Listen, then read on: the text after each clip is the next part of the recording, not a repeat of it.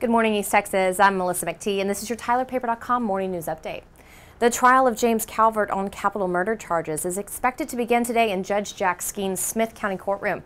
For the past nearly 12 months, a lot of the attention in the case has been focused on Calvert's behavior in the courtroom. He is serving as his own attorney despite not having a legal background. We thought we'd take you back to the afternoon of October 31st, 2012 for a reminder of just what Calvert is being tried for. We're on the scene of breaking news this afternoon. We're outside of a residence at Bain and Amherst. We know now that a 20 uh, woman in her late 20s who lived there has been shot to death. Her four-year-old son Lucas has been kidnapped. They say the suspect is her ex-husband, James Calvert. That's right. They're saying that James Calvert came to this location uh, shortly after lunch today, uh, the noon hour today, and uh, gunned down his ex-wife. Now, police say witnesses heard multiple shots. Uh, they did see the, the man taking the child, uh, Lucas, from this location. They said that the child was wearing gray sweatpants, a long blue uh, sweatshirt, sandals, and has caps on his teeth. Now, we have pictures on our website of the child and of James Calvert. Uh, police are saying, of course, that this man is considered armed and dangerous. Very dangerous. They are working at this time right now to get an Amber Alert issued statewide.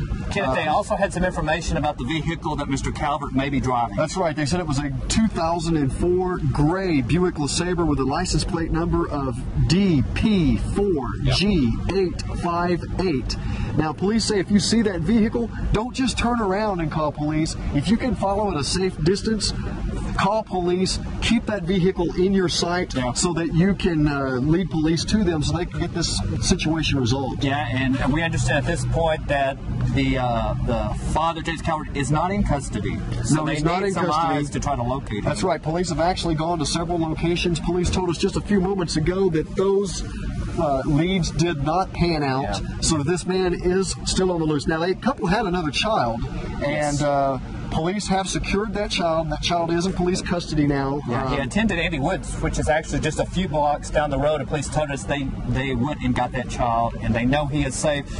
We're, we're learning a little bit about the relationship of the victim uh, with her ex-husband. That's correct. I talked to the the woman's pastor just yes. a short while ago, and he told me that just two weeks ago, he and others were in a Smith County courtroom in a custody battle, custody uh, and uh, the young woman actually won custody in that situation.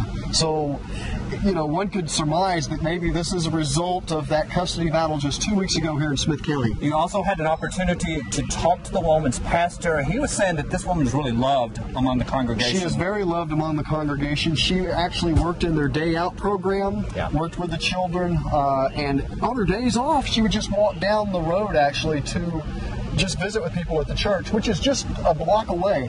Now, the pastor did say that this is one of their mission houses. So this is yeah. church property here, and uh, the young woman was living in it with her new husband, I believe. That pastor was visibly shaken. He says that congregations, this is going to be some very tough news for them to take. He said that, you know, the first thing is first they have to grieve, and then they'll, they'll, they'll, move on from there, but they are going to be very supportive to this young woman's husband and uh, the children uh, and, and, do what they can for them. Kenneth, what, what is still going on behind us? Well, uh, as you can see behind us, a uh, crime scene is actually in the carport. Now, that's where the, the woman's body is located. Yeah. Police say that she was gunned down in the carport there. Uh, so they are, of course, going to be processing this crime scene. This is relatively still new. Yes. This road will be blocked off for hours. So there's a police uh, motorhome that's just been brought in. Uh, there, as you can see, the whole block is cordoned off.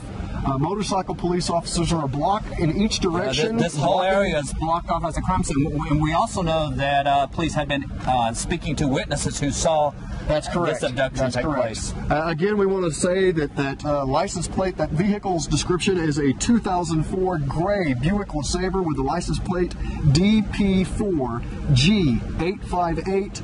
James Calvert, he is considered armed and extremely dangerous. We know how dangerous. Yes. He has already used that weapon uh, once today. Calvert was captured in Louisiana without incident, and his son was not injured. We'll keep you updated on what's happening at the trial here at TylerPaper.com.